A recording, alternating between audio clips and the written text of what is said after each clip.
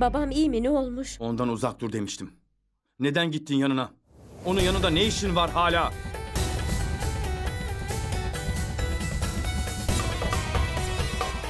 Sadece bakımıyla ilgilenmek istemiştim. Daha neyle ilgileneceksin?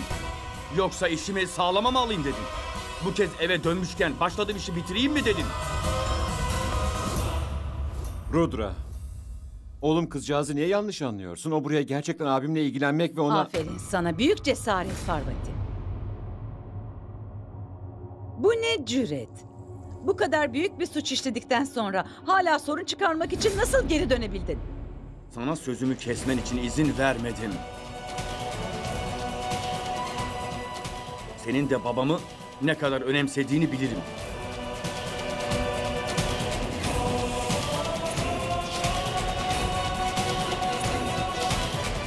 O benim babam. Ve onu olası her tehlikeden korumak da benim görevim ve ben işimi iyi yaparım. Ve sen? Sen hala burada mısın? Derhal git bu evden.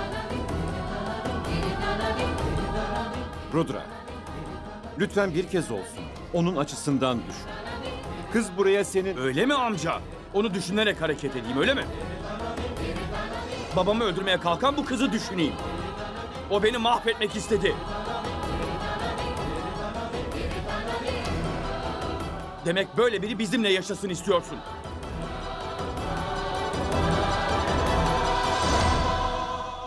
Ve sen, sen varlığınla bütün bu evi zehirliyorsun. Ama benim nefesimi duymak istemiyorsan hemen çek git bu evden.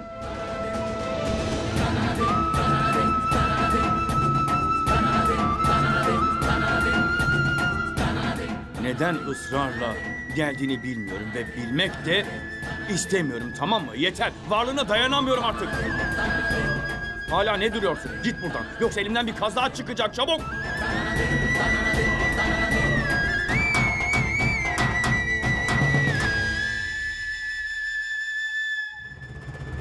Demek beni dinlemiyorsun. Demek dinlemiyorsun peki? Yeter. Evet biliyorum büyük bir hata yaptım. Seni çok yanlış anlamışım bunu da kabul ediyorum. Sana değil Dejavat'a inanmam hataydı. Ama ben bütün bunları bilmeden yapıyordum. Bilsem hiçbirini yapar mıydım?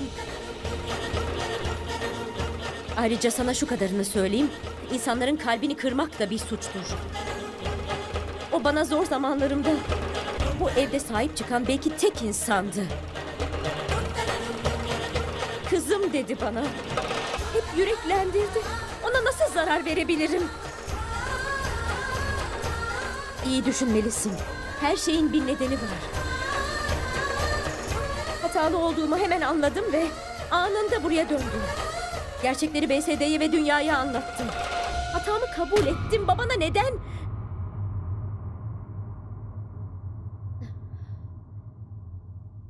Kabul ediyorum. Seni çok incittim. Sen masumdun ama ben sana saldırdım. Hem de sırtın bana dönükken. Ama o yaptığım şey yüzünden hala çok pişmanım. İnan bana her anım utanç içinde geçiyor. Beni korumaya çalışan bir insanı sırf inadım yüzünden incittim. Dinlemek istesen de istemesen de ben bugün buraya sırf sana kendimi affettirmek için geldim.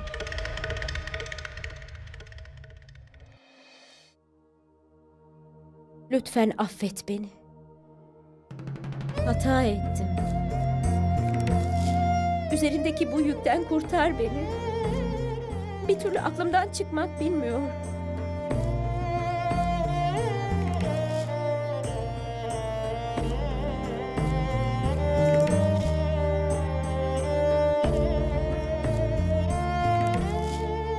Ben bu eve dönmek ister miydim sanıyorsun? Baban bizim yapacağımız evlilik için sahte demişti hatırlasana.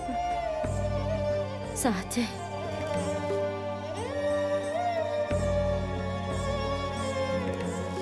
Ama ben bu sahte evlilik sayesinde bu evdeki insanlarla çok gerçek ilişkiler kurdum.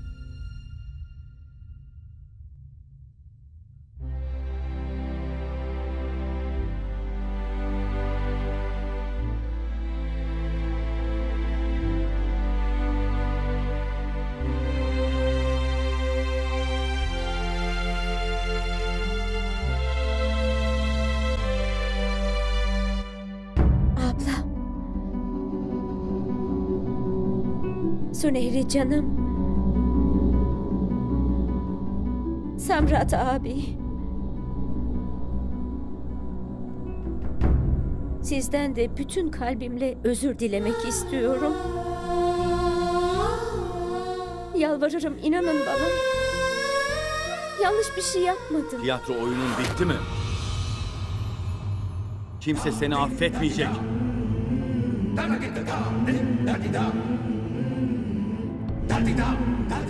Yeter. Sabrımı daha fazla zorlama benim. Öfkelendiğimde nasıl olurum bilirsin. Kızgınlıkla canını yakmadan çabuk terk et bu evi.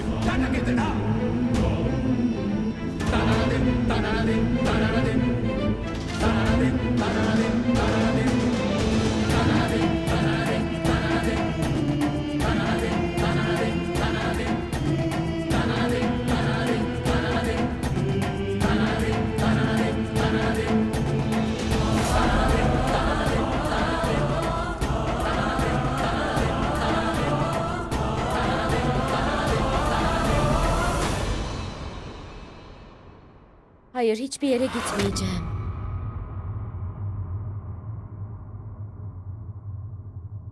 Sen beni affedene kadar gitmeyeceğim. Burada böyle oturacağım. Haro! Sana bu evden git dedim. Hadi döv beni. Döv sonra da sokağa at. Ne istersen yap. Ama bana engel olamayacaksın. Yine bir yolunu bulup buraya geleceğim.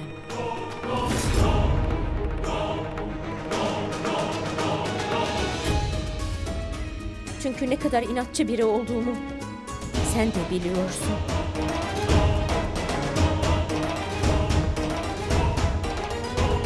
Haro git. Sana git dedim. Evet.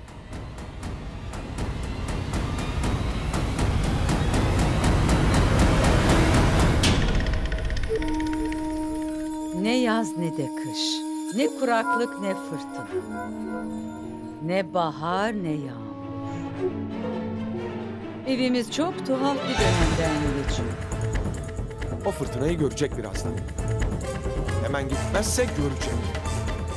Gidecek misin yoksa ben Sumer. seni sonra...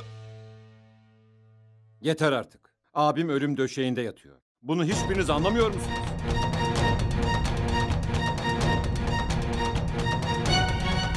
Allah aşkınıza birbirimize rahat verelim artık. Şimdi uyku zamanı. Bağırıp çağırıp didişme zamanı değil. İyi ama bu kız ne olacak? Burada kalırsa artık sürekli korku içinde olacağız değil mi? Ya uykuya daldığımız zaman başımızı dikilip bizi bir güzel doğrarsa? Öyle bir şey olmayacak. Bence hepimiz onun son kararını duyduk. Onun kararından bize ne? Burası benim evim. Kimsesizler yurdu değil. Burası senin değil benim abimin evi. İyi dinleyin. Haro hiçbir yere gitmeyecek. Burada kalacak.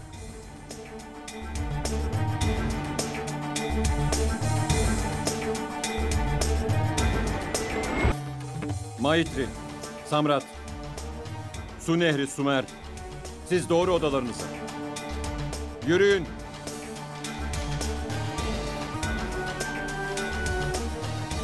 Sen de git yatağa.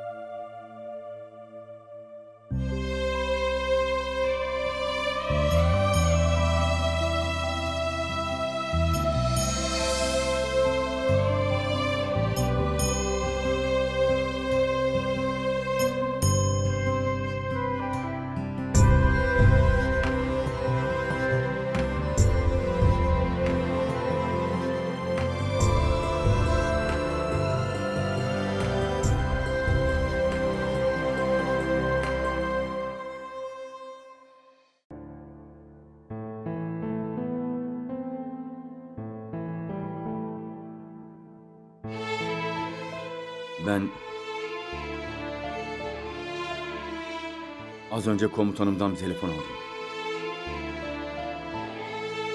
Hakkımdaki bütün suçlamalar düşmüş. Ayrıca görevdeki başarımı madalya ile ödüllendirdiler.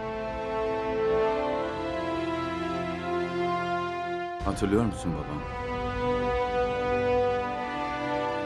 Kavga ettiğim için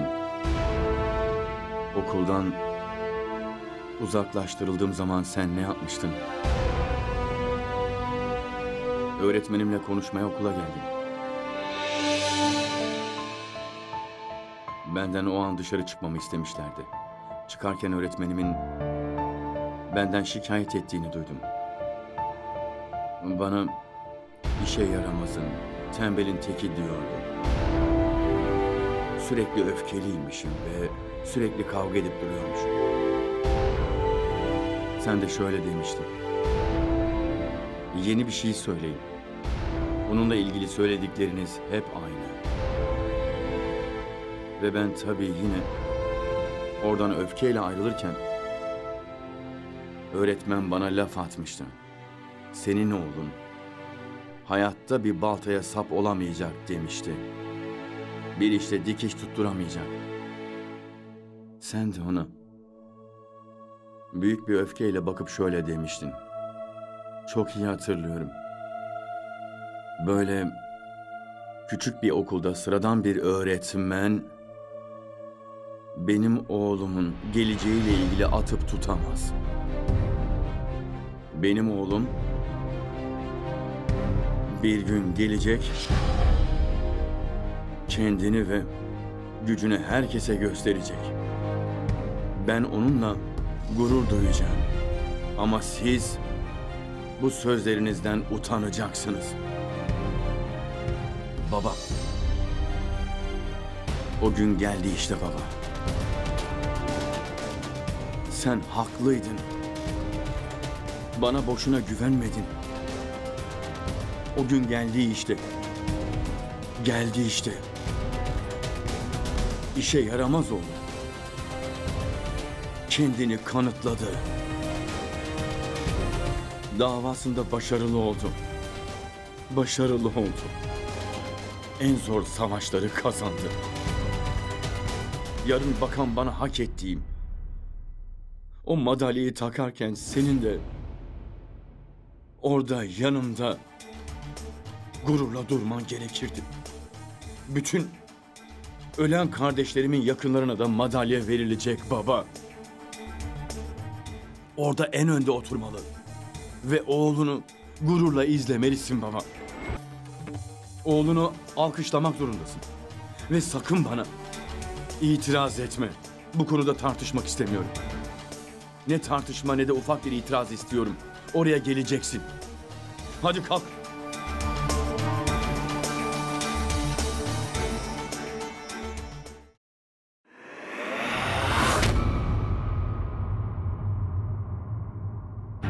Neden buradasın? Sana bu evden gideceksin demedim mi? Hala ne oyalanıyorsun burada? Ne yapıyorsun söyle. Bir şey soruyorum. Sağır mısın?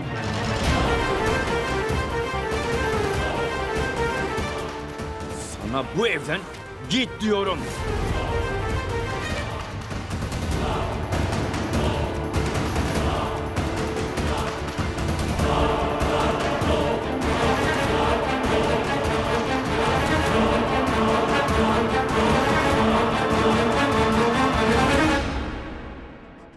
Bırak onu. Eğer bir şeye elini sürersen... Uzak dur ocaktan. Sağır mısın nesin? Laftan anlamaz mısın sen? Dalga mı geçiyorsun? Sana gitmeni söylememiş miydim?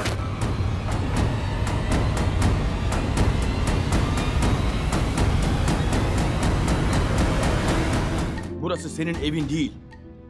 Bu eve, bu mutfağa ne cüretle gelebiliyorsun anlamıyorum. Sana daha önce de söylemiştim. Senin bu evde gölgeni bile görmek istemiyorum. Ben de sana söylemiştim. bu evden dışarı adım atmayacağım. Seninle bir şey konuşurken önce dön ve yüzüme bak. Yüzüme bakarak tekrar et.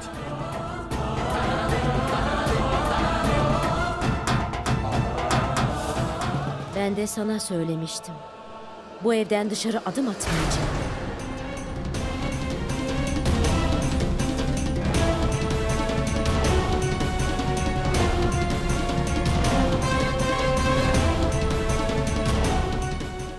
Gerçekten istersem seni bu evden yaka paça atarım. Bunu sen de biliyorsun.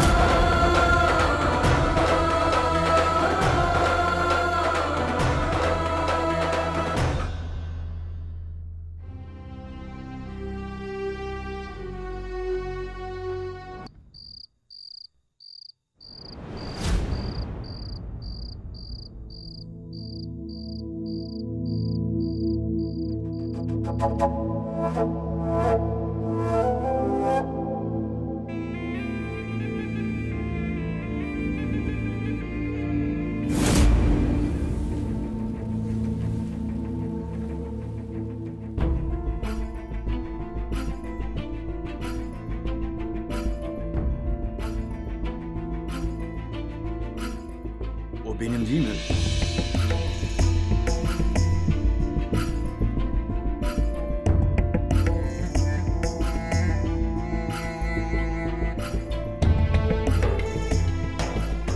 Nereden buldun onu?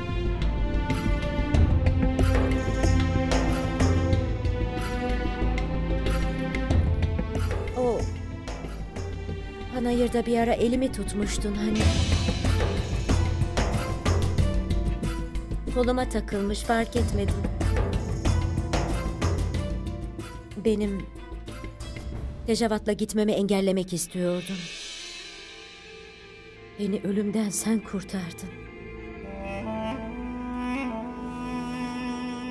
Bilekliğin benim koluma ne zaman nasıl takıldığı hiç bilmiyorum.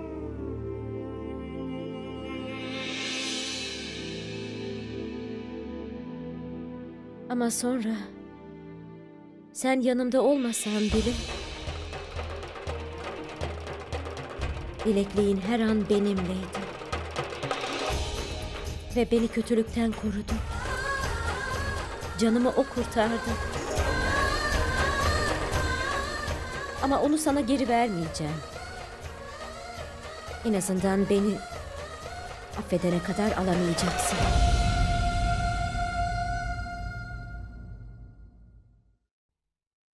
Bitkilerden yapılan bir şey bu.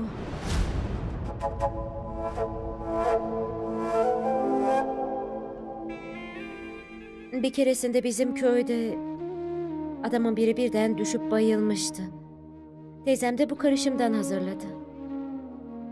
Bunu haftada üç kez sürmek gerekiyor. Hastanın ayağında mucizeler yaratır. Onu çabucak ayağa kaldırır bu. İçine zehir falan koymadım merak etme. İnanmıyorsan yine de alıp kontrol et.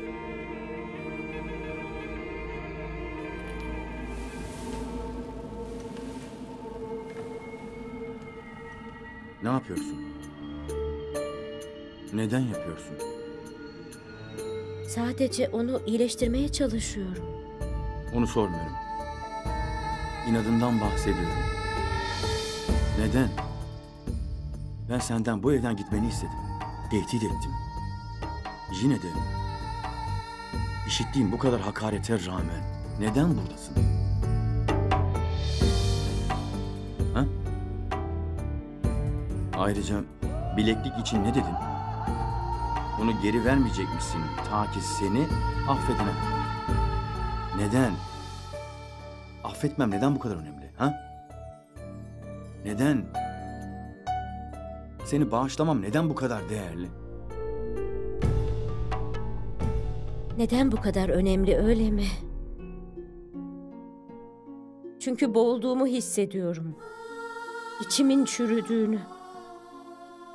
Ama bana olanlarla bir ilgimin olmadığını sana nasıl kanıtlayabilirim? Sana güvenmediğim için ne kadar pişman olduğumu nasıl kanıtlayabilirim söyle. Seni yaraladım ben. Ne önemi var? Ben sana ne ifade ediyorum? Kimim ben? Bir cellattan af dilenmek nasıl bir çaresizlik? Öyle söyleme. Sana öyle demekle büyük bir hata yaptım. Tabii ki çok şey fark ediyorum. Sen beni koruyorsun. Bana neyim olduğunu nasıl sorarsın ki? Sen benim...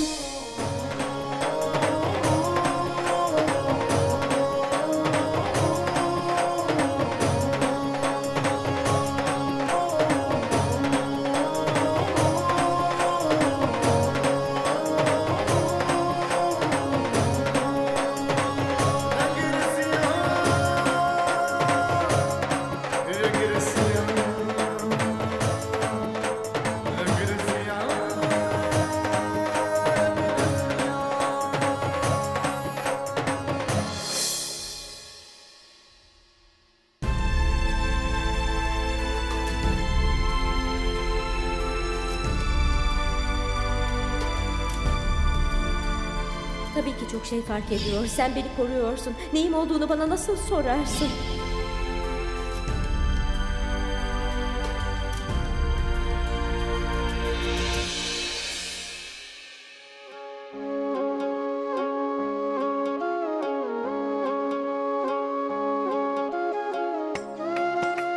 Ben...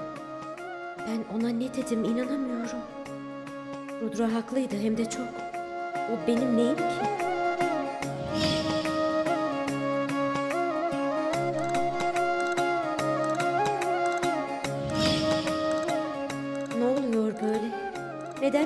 böyle şeyler düşünmeye başladım? Allah'ım ne olur cevap ver. Cevap ver.